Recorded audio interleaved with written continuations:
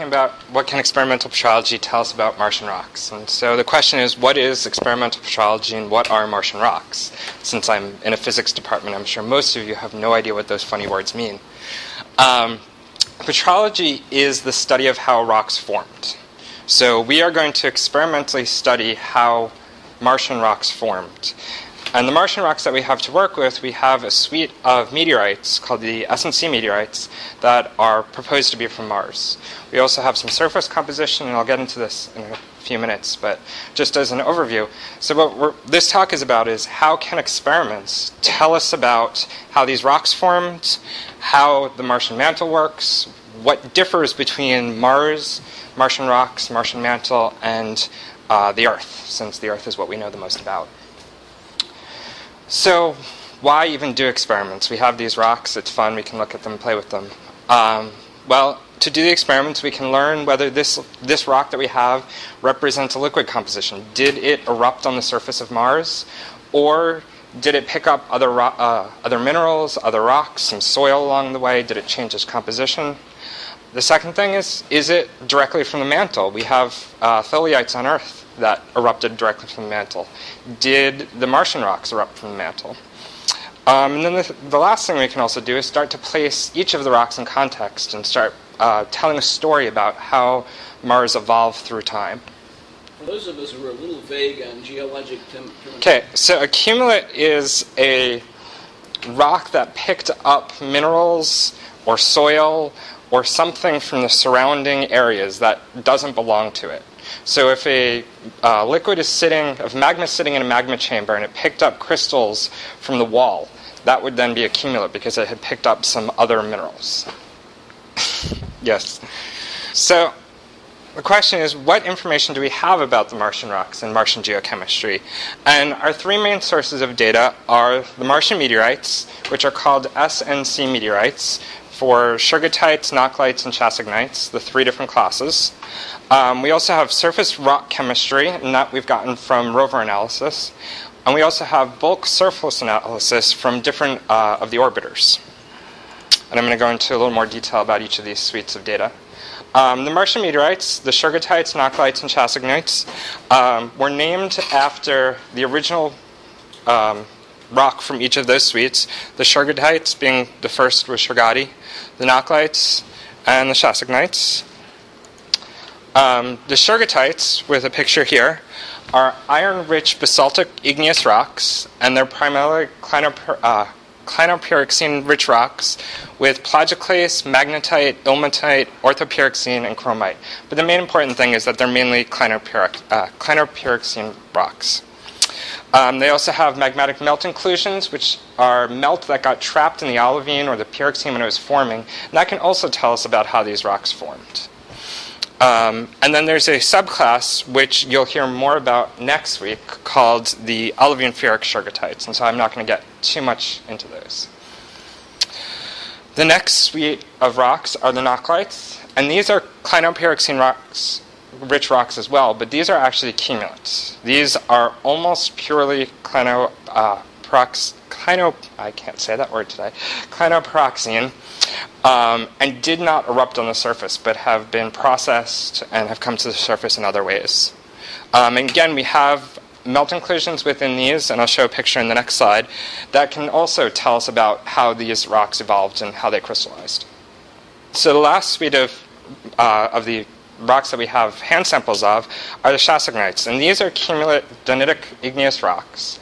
They are almost purely olivine, um, again, they also have melt inclusions, and you can actually see one here. Um, and so this is the outline of an olivine grain. And then in here you can see a melt inclusion. And you can see here we have nice glass patches. And here we have lots of different crystals. And those crystals can be uh, amphiboles, biotites, pyroxenes, apatites, uh, magnetites, chromite, feldspar, and then the granitic glass composition. So based on these melt inclusions, we can then tell about how this rock crystallized, how it formed, what depth it came from, um, and things like that. We also have a suite of lander missions. Um, the three successful landers were the two Viking ma- uh, missions in 1976. The Pathfinder uh, mission, which was a lander as well as a rover, and the rover was called Sojourner, and then the two Mars exploration rovers, which landed in 2003, Opportunity and Spirit, and they're both continually uh, still working on the surface of Mars. And here we have pictures of the three different uh, rovers, and then you can see in the middle, because we had a lander and a rover, the lander actually took the picture of Pathfinder's Sojourner rover uh, analyzing that rock, which I'm pretty sure is called Barnacle Bill. They like to come up with strange names for things, so we remember their names. So this is a map of the Martian surface. Uh, it's a topography map, so blue is lower, and the whites and the reds are higher. Um, and I've circled in red all of the landing sites for the uh, landers. Here's Viking 1, Viking 2, Pathfinder. Um, Planum is where Opportunity landed in 03, and Gusev Crater is where um, Spirit landed uh, again in 03. And you can see, for comparison, I've circled in black where the big volcanic centers are. And you can see we haven't landed anywhere near them. And you'd say, well, why is that? Those would be the most interesting places. And the issue is that the topography is not flat. So, from an engineering standpoint, we can't land on a volcano. So, we have to land someplace else and look for what rocks we can see and tell something about the history of Mars. Um, so, the Viking landers, the scientific objective was to see if there was life. I mean, that is NASA's goal with everything: is is there life in uh, the solar system besides Earth? Um, and then, on a second objective, it was to classify the chemical composition, the atmosphere, and things like that. Uh, the Viking landers did not provide any clear evidence that there was life. There still is debate over this, but uh, for the most part, it's pretty much agreed upon that it did not show that there was life. The thing it did help to uh, resolve was that it provided the only measured link between the Martian meteorites and Mars, the Martian surface. It measured the atmosphere on Mars. And in those little melt inclusions, there are some gases that have been trapped. And they're in the same proportions as the Martian atmosphere. And so that is the direct link between these hand samples we have and the Martian surface. Um, Pathfinder Sojourner rover, the, this had a little bit more broad goals because we had both the lander and the rover. And this was to get the petrology of the, of the rocks, look at geochemistry. Again, we were looking at atmospheres, um, as well as some other things. And it actually got a huge amount of data uh, from the surface, and it was a great starting place to figure out where to go with the next rovers. And the Mars exploration rovers, both of these have been highly successful. I mean, they're still running four years after they landed on the surface for a mission that was supposed to last six months. Um, and their main science objective was, again, look for water, because water is where life is going to be. Um, Opportunity first looked at Eagle and Endurance and found uh, evaporite sequences that were formed at the base of a lake. So when a lake, a lake evaporates, it leaves behind a very distinct layer of minerals, um, and we've seen that. Uh, Opportunity has seen that, and then it has gone on to Endurance and Victoria Crater to look for the same thing. Uh, when Spirit woke up, to my happiness and most other people's not happiness, we found lots of basalts, lots of igneous rocks that erupted on the surface, and they all had very similar compositions. Um, and that's what I'm going to be talking about for the, uh, towards the end of this talk in my work.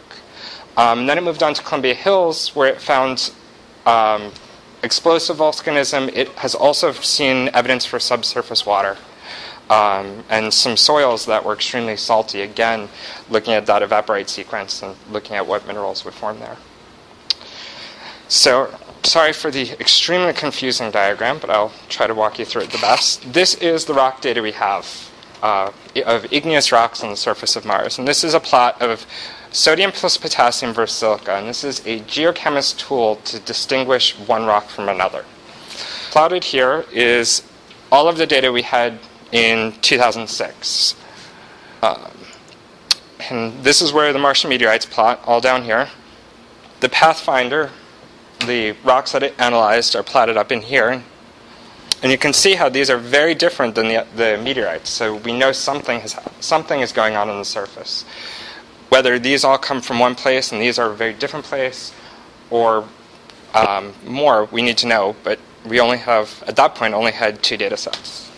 Then we got surface rocks from, these are the MER analysis. And you can see here are the Picra basalts and a few other basalts that have been analyzed. And this is, those are the rocks I'm going to be focusing on um, for the end of this talk again. This is a rock called Humphrey, which has become one of my favorite rocks. And this is a picture of it. And here you can see we drilled into it to try to get any weathering products or any dust or anything that had settled on the surface off to get an actual representation of what this rock's composition is. And so here it is. And this is a blow up of that area. And you can see that we did a great job of getting rid of most of it, but you're not going to be able to get rid of all of it unless we have the samples. So there's still some holes and still some white stuff that clearly is a later product. Um, but the chemistry is plotted here in this black dot. So. Question Is a Picra basalt a subtype of basalt or is it a separate category? It is a, a subtype of basalt. Uh, it means a very um, uh, primitive basalt, something that could have come from a mantle. So things that are very primitive plot down here, and as they evolve and fractionate and change their chemical composition, you evolve in this direction towards higher silica content. Um, and then the instrument that took, well, there's there's actually been different not all of these were taken with the same instrument, and that is also an issue with this, is we have instrument bias. The SNC meteorites we have hand samples of, so we can stick them through a typical mass spec or uh, microprobe and get the data. Um, the data for the um, MER rovers were taken with an APXS, so an alpha proton X-ray spectrometer. So, is that not all? Path- I can't remember what was used on Pathfinder. I think it was an earlier I version. Was maybe not quite as sophisticated. No, it was definitely not as sophisticated, but yes, it was an earlier version of the APXS was also, also on Pathfinder. Uh, and then plotted in here are some surface composition taken from orbiter data, just so we can compare. So we have a, a large amount of data that kind of looks all over the place, and it's something that does need to be resolved um, and figured out how all of these rocks start fitting together. So for orbiter missions, we have a few more successful ones. We had Mariner. Of course. Maybe. That doesn't work. No. Oh, there we go. There we go. Yes. The orbiter data is circled in black. The red data. He- the red data is the surface rocks from the spirit analysis, and these this is one example of it. The meteorites are circled down here. They're the small circles, and then this is path. The black circle is, The black circle is from one of the surface rocks. Sorry, I'm sorry, this that's some on-orbit data. this black circle black circle. is is orbital data. Okay, so that's aggregate data. Yes, they take average averages of certain areas of the planet and figure out what the chemical composition of of that area would be. What they do is they take the spectra of each pixel, and where the spectra looks similar to another area, they'll bin those to get a chemical composition of that binned area. So it's it's a very average look at what the surface composition of Mars could be. Well, we have actually have more than one. We have there are three here. These are um, Adirondack, Humphrey, and Mazatzal. Those were three different rocks um, that were classified as Gusev basalt, and those were the th- first three analysis of rocks taken by the Spirit.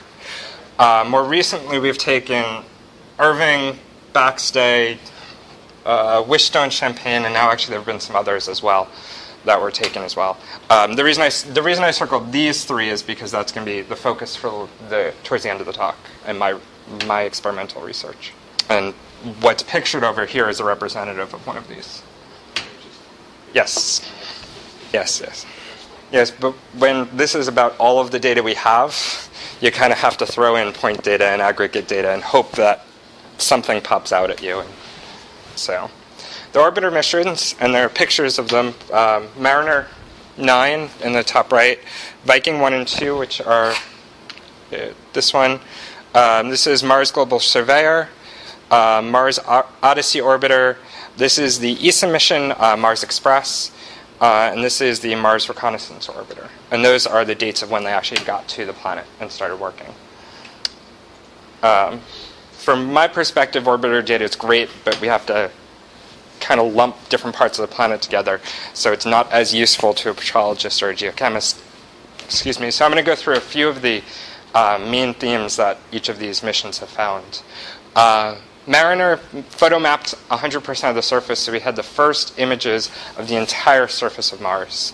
Uh, and the really cool thing was that it actually viewed global dust storms that changed as it went through orbit.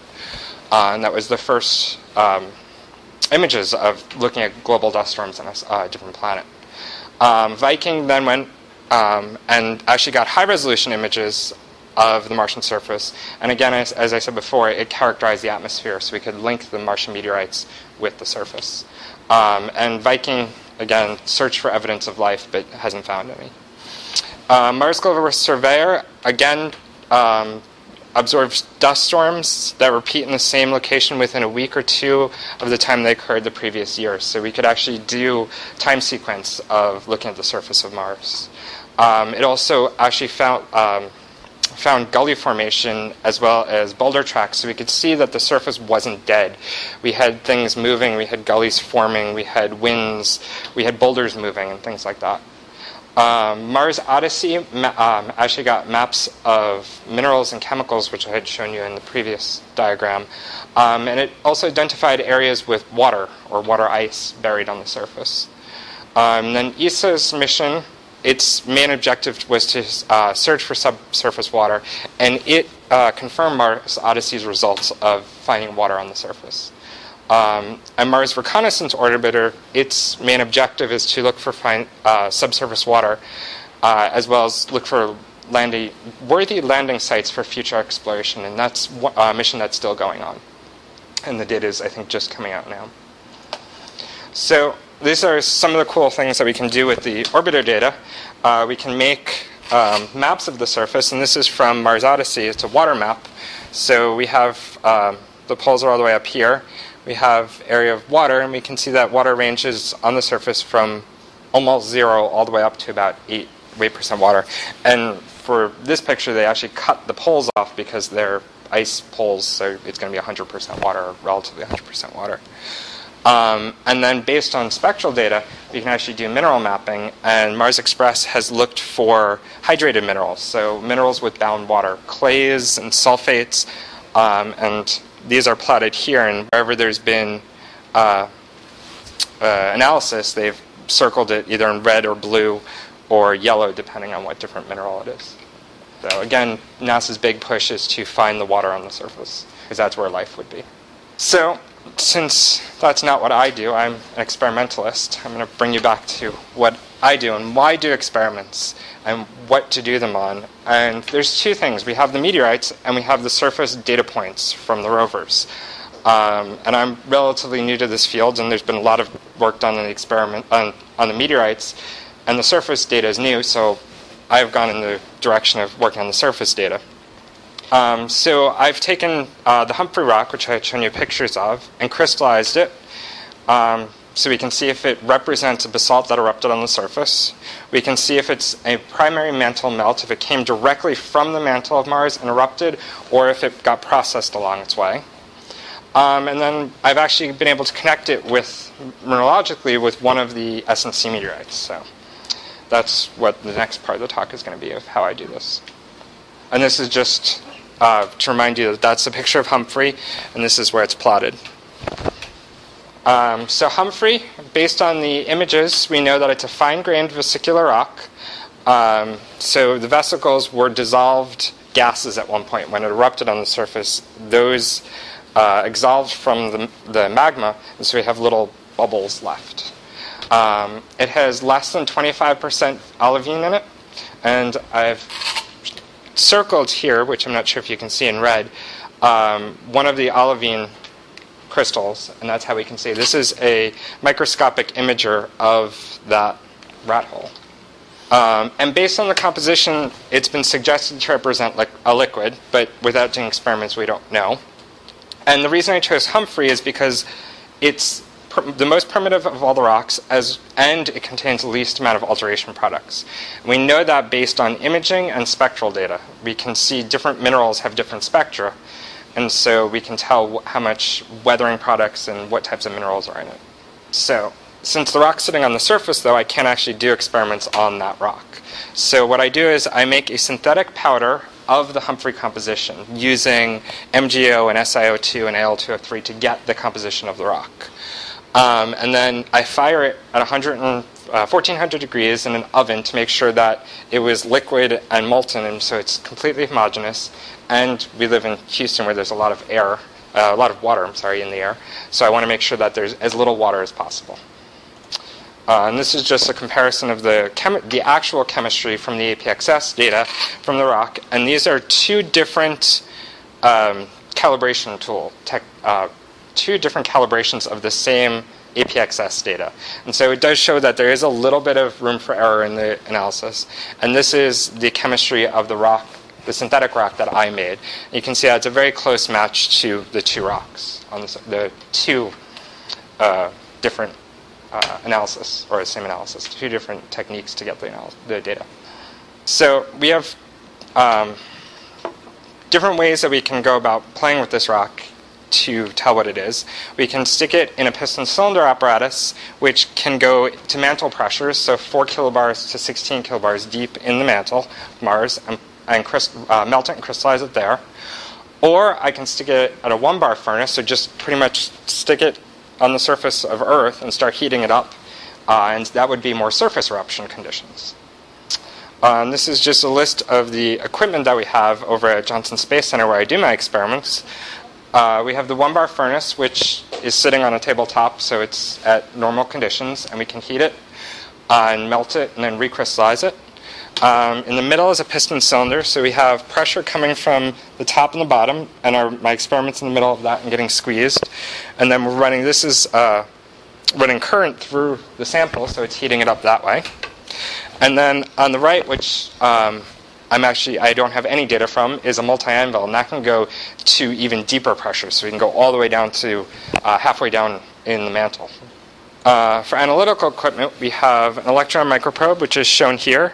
So our sample is in here in vacuum, and we shoot electrons at it, and it can measure chemical analysis. Uh, in the middle is a FTIR, Fourier transform infrared spectroscopy, uh, spectroscopy, which can measure the dissolved water content in my experiments. And all the way on the other side is a uh, scanning electron microscope, which can we can use to do mineral maps of my experiments to see what minerals are in them. So the question is Is Humphrey a liquid? Well, if it's a liquid, it will crystallize the exact same uh, crystals that are in the rock at one bar. Since we don't have the rock, all we know is that it has about 25% olivine, and we know the olivine composition based on spectra. So, I, to do that though, we conduct experiments at one bar in the gas mixing furnace, and um, they're at high temperatures. We take them above where they're going to melt and then recrystallize them to see what crystals grow. And this is the result. This is a plot of the olivines and pyroxenes that crystallize in my experiment. And plotted over here is the Mg content. Over there is uh, iron, and uh, the top axis, which has been cut off, is calcium. And the green star with the error bar is the natural olivine based on spectra. Spectra aren't perfect, uh, especially since we don't know the exact conditions that they were taken under. So there is a, quite a bit of an error bar on that. The red dots, uh, the red circles, are my experiments, and you can see that my experiments fit nicely within the error bar of the natural olivine. I've actually been told um, by the person who, who did the analysis that this is actually shifting a little bit based on new uh, temperature data. So my experiments fit even better. So the answer then is yes. Humphrey represents a basalt that erupted onto the surface of Mars and not something that picked up dust or soil or other um, mineral grains or anything else on its way to the surface. But the question is, did it originate? Yes. There's um, most times when a basalt erupts on the surface, it actually releases gases instead of absorbing gases. So you might get absorption onto the surface, the very, very surface. Um, but again, we ground that out. So the depths that we're going, we're not going to see any atmospheric contamination. So the question is, did this come directly from the mantle, or did it sit in a magma chamber, like at Hawaii, when a, basalt comes up, it sits in the magma chamber, cools, and then explodes? Um, so how do we figure that out? Well, if it originated deep in the mantle and came directly from the mantle, it will be in equilibrium with the minerals in the mantle around it. And those minerals on Earth would be olivine and orthopyroxene. And most people have assumed that they're the same on Mars based on all of the old chemical data. So we're going to continue with that assumption and assume that we're looking for olivine and orthopyroxene. And this is a little diagram. Depth going down here, we have the mantle. And so if it was melting here, it would be in equilibrium with the olivine and orthopyroxene before it came up. And then it's going to sit in a magma chamber. The question is did it change its composition there before erupting, or did it come straight up? And so that's what we are investigating. And the experimental approach for this is to do liquidus and near liquidus experiments um, on the Humphrey composition, um, and this time at um, mantle pressures. And to do that, we squeeze them in the uh, quick press uh, piston cylinder at Johnson Space Center. And these are the results uh, from my experiments. So we have pressure plotted here from deeper to shallower. So this is the surface that's deep in the mantle. Sorry, petrologists think that way instead of how most people would think. Um, and then temperature is increasing going on that direction. So out here we have an all liquid field, so we have a magma. And then ba- to the left of this line we have a liquid still, but it has started crystallizing crystals. And again, we're looking for olivine and orthopyroxene for it to be from the mantle. So at low pressure we have olivine. Well, that's good. But once we get up to mid pressures, we actually have pigeonite. Pigeonite is not an orthopyroxene, it's actually a clinopyroxene. It has too much calcium. So it's saying that this, this rock, while it is a liquid and it erupted on the surface, it has changed its composition sometime between, erupt, sometime between when it was formed in the mantle and erupting. And so, that's just saying what I just said. And so what happened is, it formed here in equilibrium with olivine and orthopyroxene. It rose, it sat in the magma chamber, and it started crystallizing. And when it erupted, it left those crystals behind. So it didn't come directly from here. It stopped along its way. And there's no way to figure out what it left behind, how much it left behind, or anything. So all we know is that, yes, this represents a, a liquid that erupted, but we don't know anything else about the mantle. Yeah, sorry. I'm, tr- I'm So, it- so it, Oh, so yes, so it, it it was it was in equilibrium with olivine and orthopyroxene, okay, and then it came up here. that's the assumption. Yes, that is the assumption. Yes, that is that is the main assumption in this talk. And then it rose up here and sat in a magma chamber, some at some depth. And I have it pretty shallow here, but it could have been deeper. Started blowing and. Yes, of course. It's it's crystallizing, and most likely it's crystallizing olivine.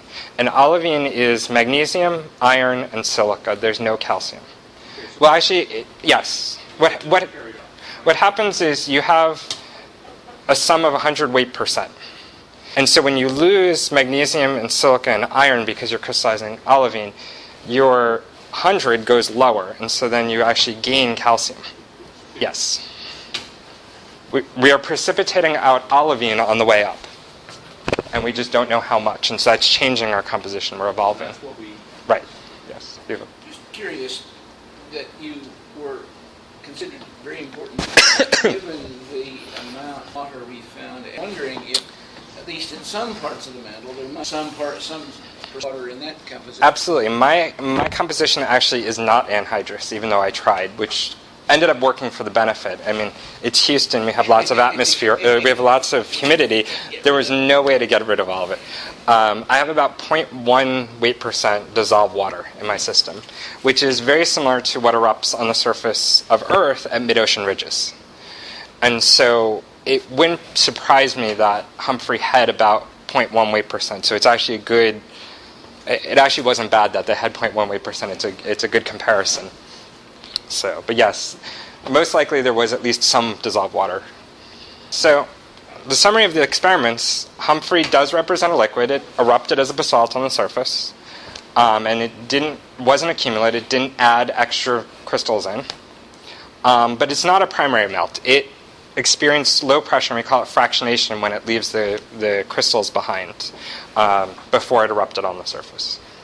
So the second thing I said I was going to talk about is, or the third thing I think, can we connect any of the surface rocks with any of the meteorites. They seem very different chemically. Um, and it would be important because we have these rocks and it could tell us more about uh, Mars mantle.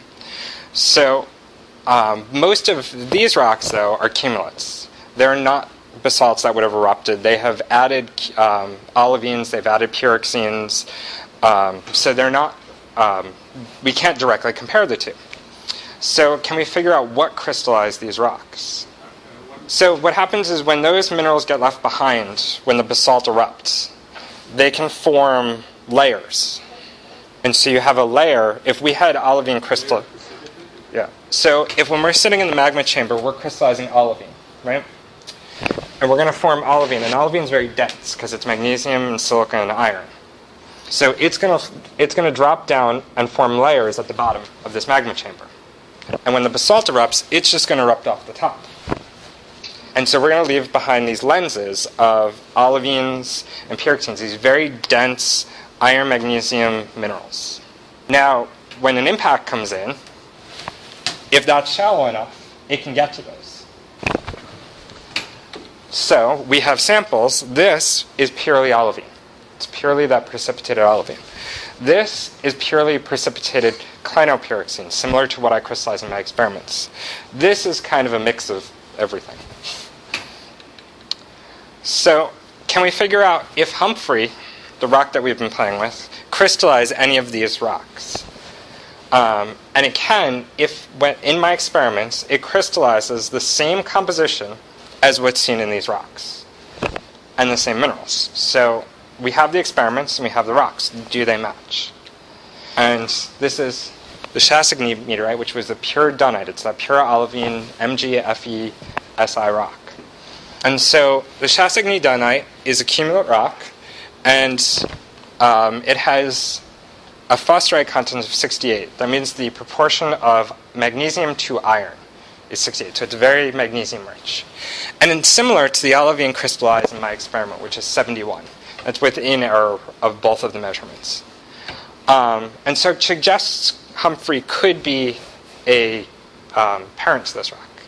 We also had those melt inclusions, and there was some melt left in them we can start playing with them and adding back in this olivine to see what composition it gets. And if we do that, I went the wrong way. Ignore the rest of this table because it's from a complicated paper. Um, this is the model composition when we do that, when we take that glass composition and keep adding olivine back in. And this is the Humphrey composition.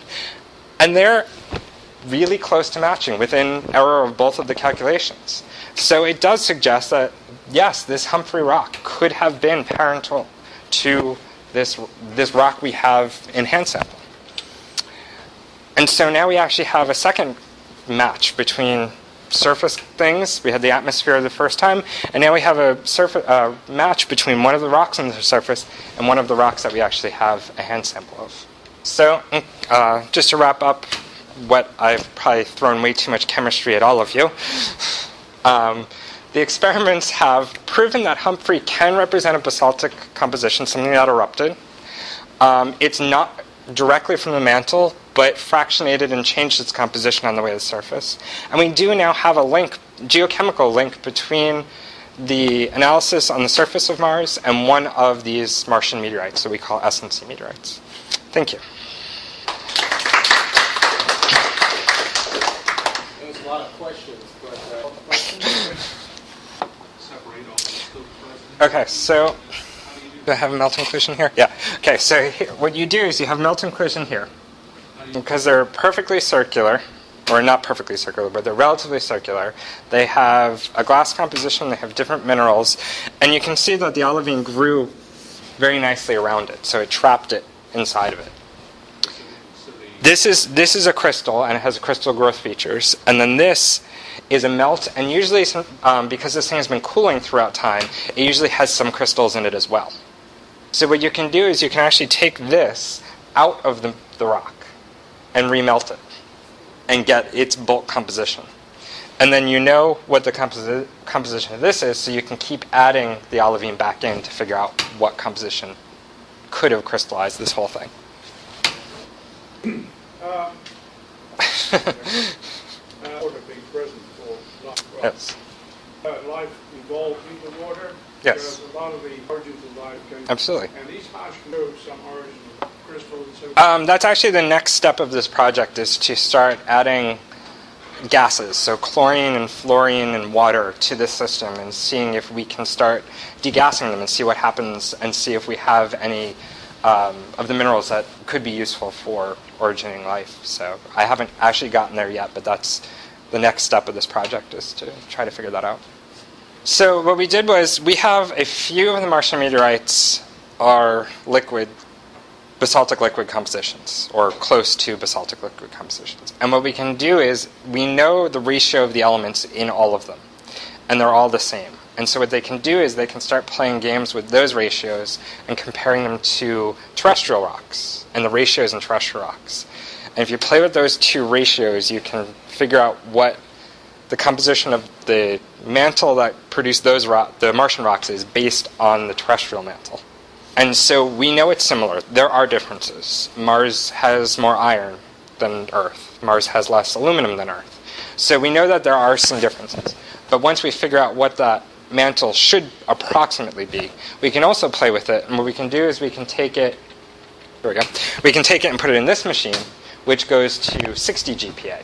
So much much deeper.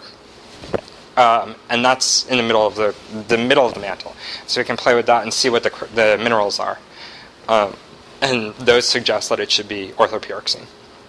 So it's not just a, an assumption saying Earth is this way, Mars has to. Um, there's been a few assumptions that suggest that it should be similar. The meteorite, Chassigny, it's named for a town in France. Uh, the meteorites are named after where they found, and I don't remember where Shergotty or, or Nakhla was found. Um, was found in the 1800s in France, and at that point we just knew it was a meteorite. Um, and then sometime in the 1900s, um, it was proposed to be from Mars, and then it wasn't until uh, Viking that we knew it was. And that was 83. Yes, you have to have an impactor, so you have to have an asteroid or a meteorite of some sort hit the surface that's large enough to eject these off of the surface of Mars. Yep. Absolutely. Um, probably easier than going backwards. So, there we go. Um, so the large volcanic provinces we have are Olympus Mons and the Tharsis Plateau, and then we have Elysium Mons out here. And what people have done is taken the spectra from the orbiters and try to figure out where these rocks have come from.